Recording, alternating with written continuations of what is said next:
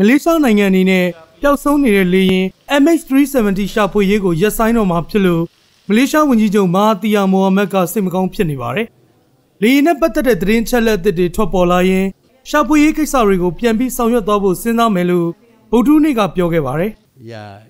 They, အိန္ဒိယသမုဒ္ဒရာပင်လယ်ကျမ်းပြင်ကိုအဓိကထားပြီးရှာဖွေရေးလုပ်ငန်းတွေကို၃လကျော်ဆောင်ရွက်ခဲ့ပြီးတဲ့နောက်နောက်ဆုံးအကြိမ်ဖြစ်ရှာဖွေမှုကိုအင်ကာနေ့ကအဆုံးသတ်ခဲ့ပါတယ်။ ဩစတြေးလျ၊မလေးရှားနဲ့တရုတ်နိုင်ငံတွေအနေနဲ့တော့ရှာဖွေမှုကိုအဆုံးသတ်ခဲ့တာတစ်နှစ်ကြာခဲ့ပါပြီ။အဲဒီနောက် American နည်းပညာကုမ္ပဏီ Ocean Infinity နဲ့မလေးရှားနိုင်ငံက No Cure No Fee သဘောတူညီချက်ကိုလက်မှတ်ရေးထိုးခဲ့ပြီးရှာဖွေရေးလုပ်ငန်းတွေကိုပြန်လည်ဆောင်ရွက်ခဲ့တာဖြစ်ပါတယ်။ yeah. There, there comes a time when we have to stop it because we ကျွန်တော်တို့ရက်လိုက်ရမယ့်ချိန်ကိုရောက်လာပါပြီ။ဘာလို့လဲဆိုတော့ကျွန်တော်တို့ရှာဖွေရေးလုပ်ငန်းတွေကိုလှုပ်ဆောင်ခဲ့ပြီးပါပြီ။တကဘာလုံးမှာကြီးမားဆုံးရှာဖွေရေးအစီအစဉ်ကိုဆောင်ရွက်ခဲ့တာပါ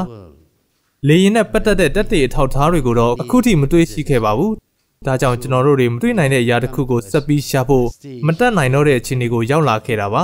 ။တကယ်လို့လေရင်နဲ့ပတ်သက်တဲ့သတင်းတစ်စုံတရာရှိလာမယ်ဆိုရင်တော့ကျွန်တော်တို့ရှာဖွေရေးတွေကိုပြန်လည်လှုပ်ဆောင်သွားမှာပါ။ ဒါပေမဲ့လည်းလောလောဆယ်မှာတော့ရှာဖွေရေးတွေကိုရပ်ဆိုင်းသွားမှာဖြစ်ပါတယ် at the moment uh, s- uh, we have to we have to put a stop to the search ဝန်ကြီးချုပ်မဟာတီယာမိုဟာမက်ကရှာဖွေလို့မတွေ့နိုင်တော့တဲ့အရာတစ်ခုကိုဆက်ပြီးရှာဖွေဖို့မတက်နိုင်တော့တဲ့အခြေအနေကိုရောက်လာတယ်လို့ဗုဒ္ဓဦးနေကပြောခဲ့ပါတယ်။မလေးရှားလေကြောင်းလိုင်းပိုင်း MH370 လေယာဉ်ဟာခီးသည်239ယောက်ကိုတည်ဆောင်လာခဲ့ပြီးကွာလာလမ်ပူကနေတရုတ်နိုင်ငံဘေကျင်းကိုပြန်တန်းလာခဲ့ပြီးတဲ့နောက် 2014ခုနှစ်မတ်လ10ရက်နေ့မှာပျောက်ဆုံးခဲ့တာဖြစ်ပါတယ်။